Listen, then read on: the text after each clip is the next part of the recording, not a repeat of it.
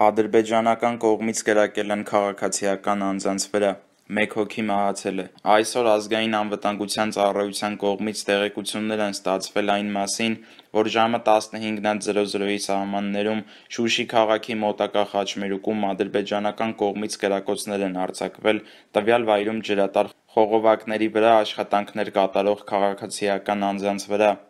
Ստեփանակերտի հիվանդանոց է տեղափոխվել չորս քաղաքացիական անձ, որոնցից մեկը մահացել է, երեքին ցուցաբերվում է բժշկական օգնություն: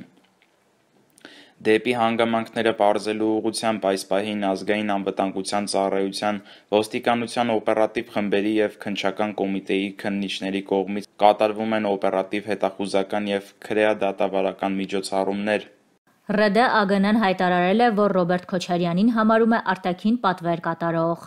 Երեկ ՌԴ-ԱԳՆ-ի կողմից հրապարակվեց հայտարարություն, որտեղ ի թիվս այլ հարցերի անդրադարձ կար նաև այսպես կոչված «Զանգեզուրի միջանցքի» մասին էժան շահարկումներին: ՌԴ-ԱԳՆ հայտարարության մեջ ասվում էր. «Եռակողմ հայտարարության ընդունումից մեկ տարի անց կարելի է համարձակորեն հերքել սոցիալական ցանցերում և ինտերնետային ռեսուրսներում տեղեկատվական լցոնումներն այն մասին, ըստ որոնց Ռուսաստանի խաղաղապահ ջանքերն ուղղված են եղել իբր Լեռնային Ղարաբաղի անջատմանը, նրա հանձնմանը Ադրբեջանին Հայաստանը պրոտեկտորատի վերածելուն: Նման հայտարարությունները պոպուլիստական բնույթ են կրում, կատարում են ակնհայտ արտաքին պատվեր և իրականության հետ որևէ աղերս չունեն: Հիշեցնենք, որ Հայաստանի Ռուսաստանի պրոտեկտորատ դառնալու մասին դեռևս 2021 թվականի հունվարի 21-ին հայտարարել էր Ռոբերտ Քոչարյանը: Ստացվում է, որ ՌԴ-ԱԳՆ-ն Ռոբերտ Քոչարյանին համարում է պոպուլիստական հայտարարություններ անող արտաքին պատվեր կատարող, գրում է Armenia News-ը: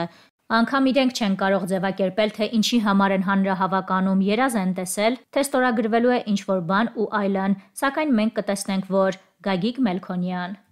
Ազգային ժողովի պատգամավոր և ազատամարտիկ Գագիկ Մելքոնյանն ասել է. «Քոչարյանը տառապում է իշխանության գալու փորացավով: Բայց դա հնարավոր չէ, անհավանական է, որ կայացող հանրահավաքին մեծ մասնակցություն տեղի ունենա: Նրանք ձգտում են իշխանության, որը երբեք հայ ժողովուրդը չի տա իրեն: Ժողովուրդը ունի իշխանություն, ինքն է ընտրել նրանց և դա երբեք հենց էնպես չի վերցնի և տա ինչ-որ մեկին: Իսկ իրենք անիմաստող հանրահավաքներ անցկացնեն, անգամ իրենք չեն կարող ձևակերպել, թե ինչի համար են հանրահավաք անում, երազ են տեսել, թե ստորագրվելու է ինչ-որ բան և այլն, սակայն մենք կտեսնենք, թե ինչ կլինի: Այդ մարդիկ, այդ ուժերը պարզապես իշխանության փորացավ են կպել, ուզում են իշխանություն, բայց դա չի լինելու: Ով էլ գնա հանրահավաքին, իրենց գումարով սատարողներն են լինելու, իրենց պիցցայակերները: Հենց նրանք կրկին պիցցայի հետևից հրապարակ են գալու: Իսկ հիմնական ժողովուրդը երբեք չի գալու նրանց հանրահավաքին, ժողովուրդը դրա համար պատճառ չունի: Հայ ժողովուրդը չունի իշխանափոխության պահանջ, իսկ էդ ուժի ամբողջ նպատակը հենց իշխանության գալն է, որը, նորից եմ ասում, հնարավոր չէ երբեք»: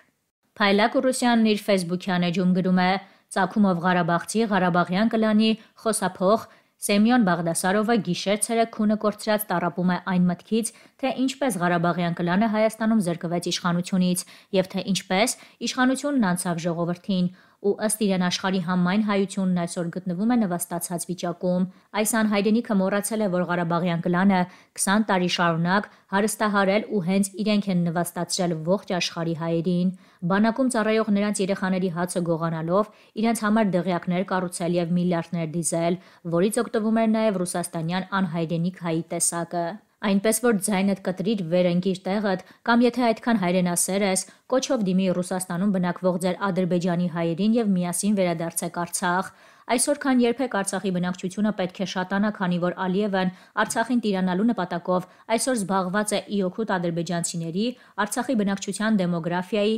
փոփոխությամբ: Դուք ձեր թալանչու հոգեբանությամբ ուզում եք նորից Հայաստանը գրավել, որպեսզի այն վերջնականապես կործանեք և ռադվեք Ռուսաստան: Այսուհետ չփորձեք հայության անունից այլևս զառանցել: Հայաստանում այլևս մենք՝ ժողովուրդն է տերը մեր երկրի»: թվականի նոյեմբերին կամ հոկտեմբերին Armenia հեռուստաընկերությանը տված հարցազրույցում ասել է, որ ապրիլյան պատերազմը նշանակում էր, որ Ադրբեջանը հրաժարվում է հարցը լուծել Մադրիդյան սկզբունքների տրամաբանության մեջ: Ես նախորդ անգամ ասացի, որ Մադրիդյան սկզբունքների երկու առանձնահատկություն ունի՝ միջանկյալ կարգավիճակ, կարգավիճակի որոշում հանրաքվեի միջոցով: Եվ երրորդը ասել է 2018 թվականի ապրիլի 17-ին այս ամբիոնից երկու հայտարարություն: բանակցային գործընթացը լավատեսություն չի ներշնչում, ավելի ճիշտ բանակցային գործընթացը կանգնած է, որովհետև բանակցային գործընթացից Ադրբեջանի ղեկավարության ակնկալիքները ան իրատեսական է եւ անընդունելի մեզ համար, սա մի հայտարարություն եւ երկրորդը, որ այլևս, այլևս բառին շատ կարևոր է ուշադրություն դարձնել։ Այլևս շատ երկար ժամանակ մենք չպետք է հույս ունենանք, որ Ադրբեջանը կթողի ուխտադրուժ իր դիրքորոշումը եւ չի փորձի պատերազմի միջոցով լուծել հարցը։ Սերժ Սարգսյանը ասում է, որ ինքը պատրաստ է ստորագրել այդ թուղթը Եվ ես ձեզ ասում եմ, մեր հարցոպատասխանի արդյունքում ինչ պարզվեց։ Պարզվեց, որ այդ թղթով ոչ միայն 7 շրջաններն էր հանձնվում, այլև Լեռնային Ղարաբաղի կեսը կեսը ադրբեջանցի բնակիչների բերումով Եվ երբ որ այս ամբիոնից դեռևս նոյեմբերին ասացի, որ Շուշիի հարցը միշտ էլ եղել է, աղմուկը աղակ բարձացավ, հիմա ես ձեզ ապացուցեցի, թե Շուշիի հարցը ոնց է եղել, երբ է եղել, ինչ բովանդակություն է ունեցել։ Բայց ամենասկզբունքայինը, որ նույնիսկ սրան, ինչպես է թե տարօրինակ է, չէ, 7 շրջաններն ասում է տալիս ենք, Ադրբեջանն ասում է ոչ։ Ասում է Ղարաբաղի կեսն էլ ենք տալիս։ Ասում է ոչ։ Սա ինչի համար եմ ասում։ Սա ասում եմ նա իր պատասխան եմ մեղադրանքների, որ ասում եմ, որ պատերազմից պետք է խուսափել։ Պատերազմից խուսափելու մենք պետք է ասենք Ղարաբաղի մյուս կեսն էլ ենք տալիս, էլի պետք է ասենք ոչ։ Ասենք լավ պատերազմից գիտեք ինչ։ Այդ դա ամենամեծ դավաճանությունը գիտեք որն է։ Երբ որ ես նախորդ անգամ եմ ասել, ասել են ամենավատ բանակցությունները ավելի լավ է, քան ամենալավ պատերազմը։ Իրենք ոչ միայն գենետիկ վախ են ներշնչել մեր ժողովրդին պատերազմի նկատմամբ, այլև հակառակորդին ցույց են տվել, որ մեր իբր մեր հանրությունը վախենում է պատերազմից եւ այդ ժամանակ միևնույն ժամանակ չեն պատրաստվել պատերազմին 2016 թվականին ողջվել է որ մեր զենքերը 80-ականների են Հասկանում եք, այս ամեն ինչը հո միաշերտ չի։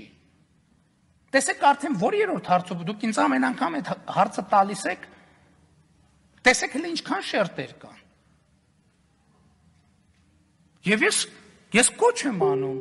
Ասում եմ, դե եկեք խոսանք լավ։ Լավ գոռացիք մի ամիս, երկու ամիս հողատու, դավաճան, չգիտեմ ինչ։